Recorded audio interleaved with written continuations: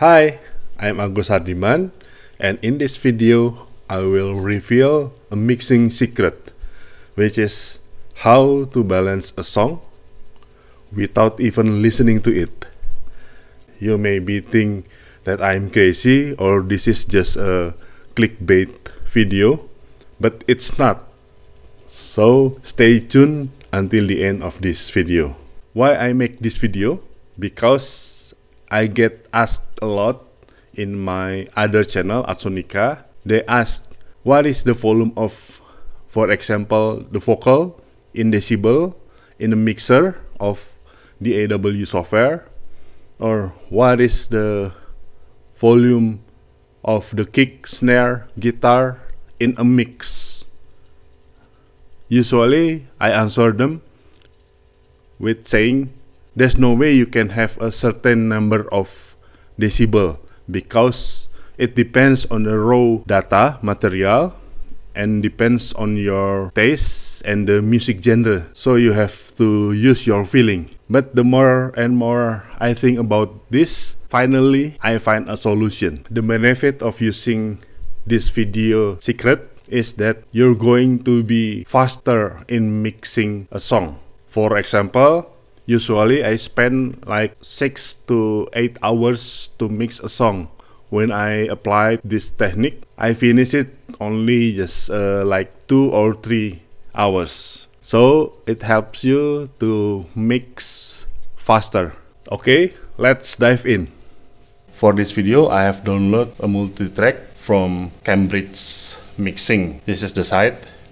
So I just download the random files, random song, and my speakers are off and I don't use my headphone. The, the song data has to have a clear track names. You can order the track from drums, bass, vocal, guitar, etc. like this. Just choose one point of a song. For example, I'm going to choose the last chorus. I don't know which one is the chorus but I pick this. And you go to your DAW software mixer and find the stereo out or master out. And insert the VU meter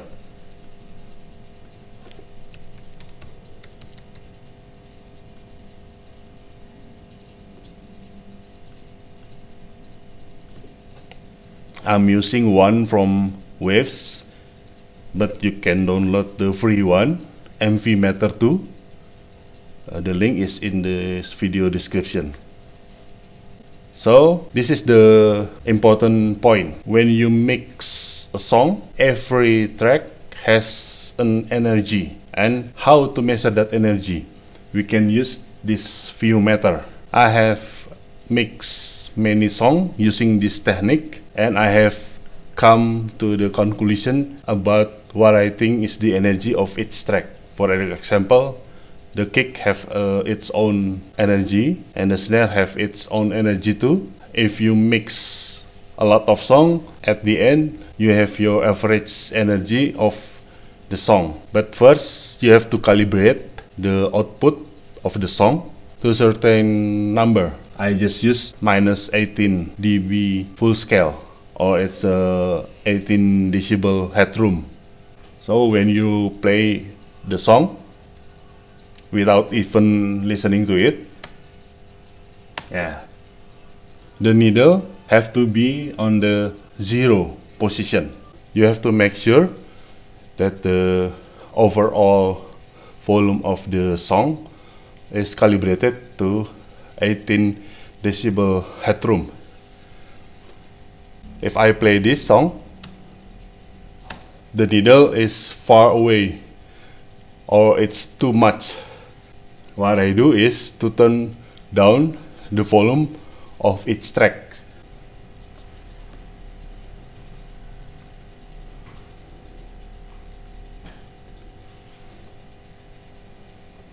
I play it again and changing the fader which I have linked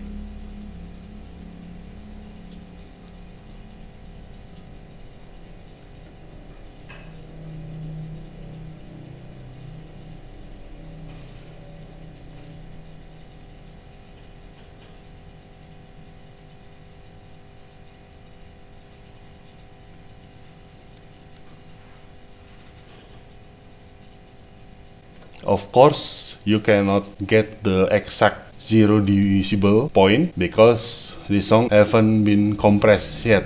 But you have to make sure that the needle is staying in 0 dB VU meter like this.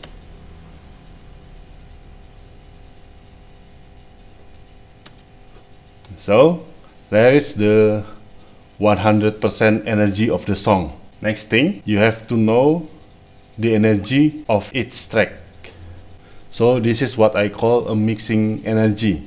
Every tracks in your song have its own energy. When you're using VU meter, you can look the bottom of the VU meter. This one it is the energy of the song but the top one is the decibel or the headroom yeah, or the calibrated system you don't have to worry about the decibel but you have to look to the percentage which is the energy of a track for example i have my own ingredients for energy for a pop song or pop rock song. The kick, I usually use the 30% energy.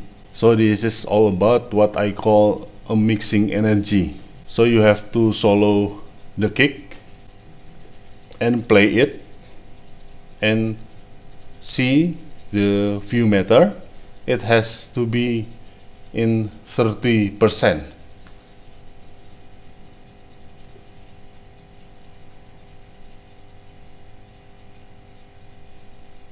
It goes only 20% so I move the fader a little bit.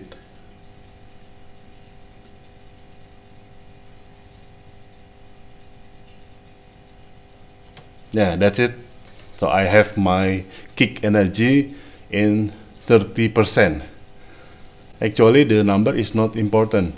You have to find your own number you can open your song which had been mixed earlier and you satisfied with the mix and you can put the VU meter in the master channel and then just solo the kick and you can see the percentage of the kick. It could be 30% like me or maybe 40% 25% it depends on your taste next i'll go to the snare for snare, usually I use the 20% energy. I just solo the snare track and play and make sure that the needle is 20%.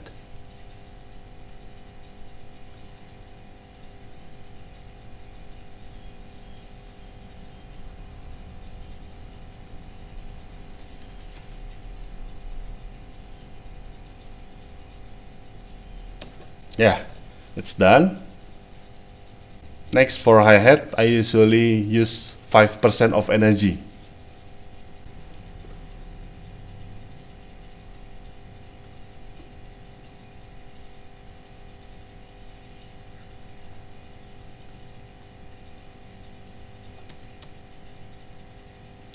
Yeah that's it. Next I will go to the toms. Yeah for toms you have to make sure that you play it from the tom's part yeah, because tom's part is not played uh, every time.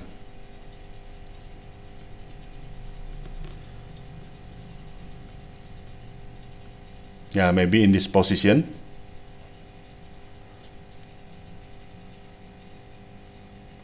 Yeah that's uh, too much energy for the tom.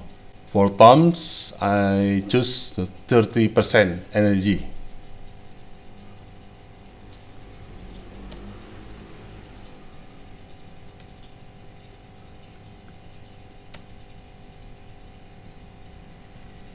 Okay, next overhead.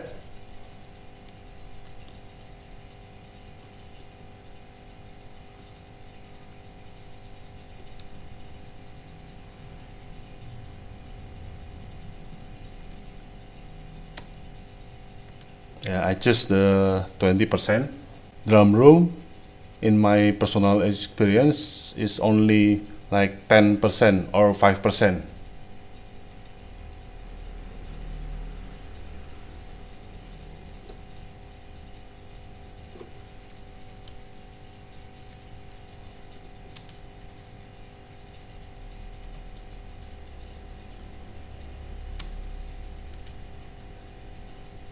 That's it for the drum part. And now go to the bass. I usually have 30% energy of bass. So it's the same with kick. Kick is 30% and bass is 30% too. But you can choose different setting. For example, if you like to make the kick up front then the bass, maybe the bass will have 25% or just 20%. But you get the idea.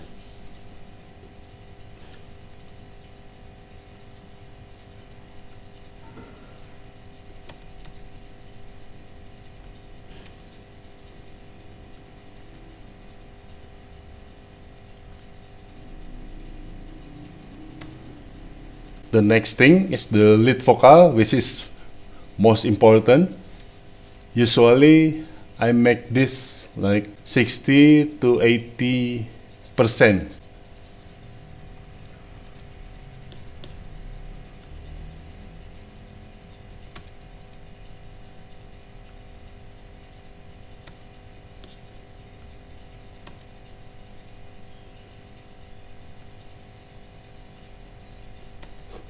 because vocals are very dynamic.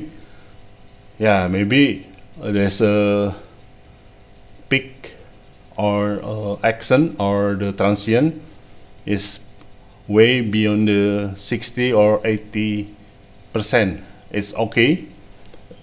It will be compressed later. So just just a volume which uh, goes in the range of 60 to 80 percent most of the time.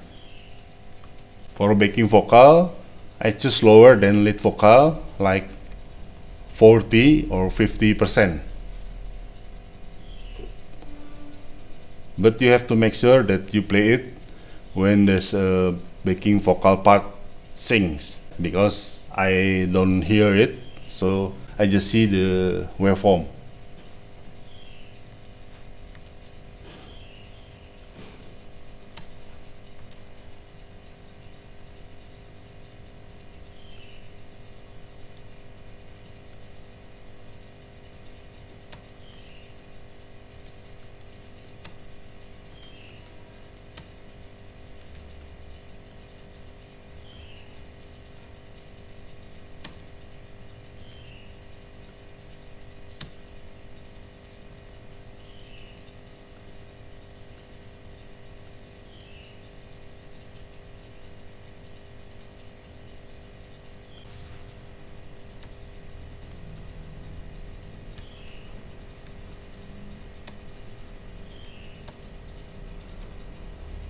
For acoustic guitar parts I just like 20% uh, to 30%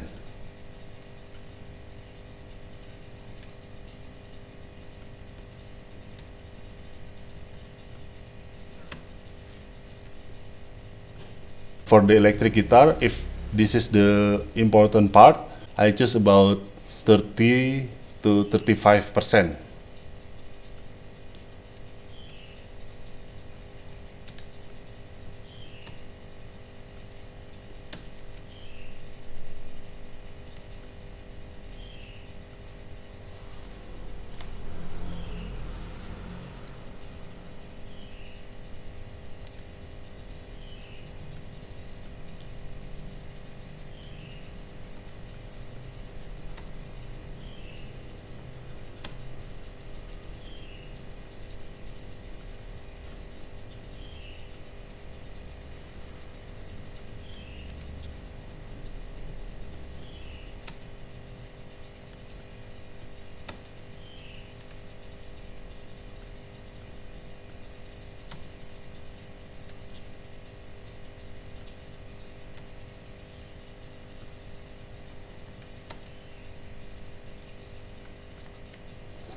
That's it. So it's very fast to balance a song because you don't have to listen it over and over again. So it saves time. The next thing to do is to panning those tracks. Yeah, for example, the hi-hat is on the more to left yeah, because it's the drummer perspective.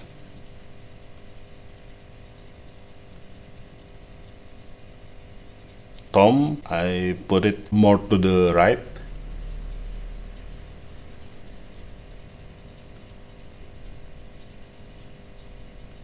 Lead vocal is always the center.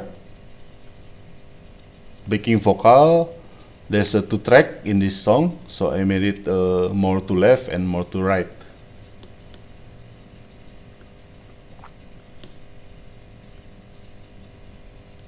Yeah, it doesn't matter how much the left or right panning. You can adjust it later when we hear the song or listen to the song.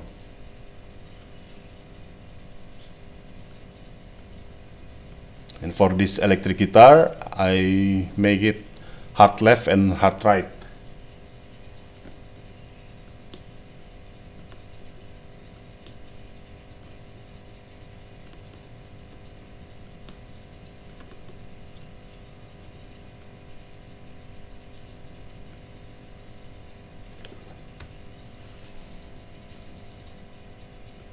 Okay, that's it. Let's listen to the result. So this is the first time I listen to the result of the song.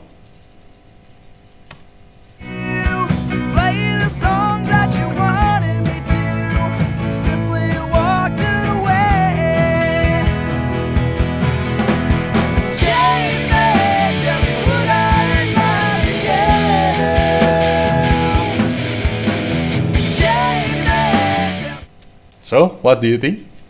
It's faster to balance a song with this technique.